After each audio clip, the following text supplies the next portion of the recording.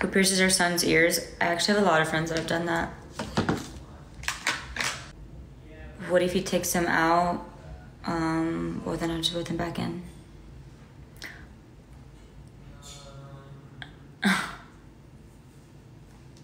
I mean, I don't care. The courts will decide everything, so I really have no. Doesn't matter what I have to say. I don't make money on live. I'm not in Miami. I will be um, in two weeks. I was supposed to go this weekend, but I should have gone. I should have gone instead of here, but it's okay. Um, I'm gonna go in two weeks, so we have two separate court things. One's for child custody, one's for the restraining order. None of those are scheduled. We don't know when it's going to be rescheduled. There's a lot of stuff going on with the courts right now because of Microsoft shutting down two weeks ago. So nothing's been rescheduled. Could be months, could be next year, could be tomorrow. I don't fucking know. I don't hate on anybody.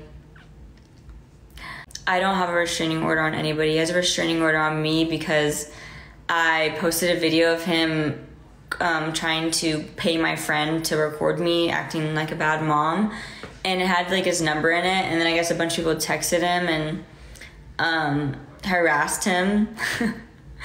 and so he got a restraining order on me for like emotional abuse or I don't fucking know a domestic violence restraining order or something. I don't know. Apparently, I'm the one who beat him up all the time. No fucking clue. Um, so yeah. Yeah, I want more kids. I want like four girls. I want all girls. I want Winter to take care of them.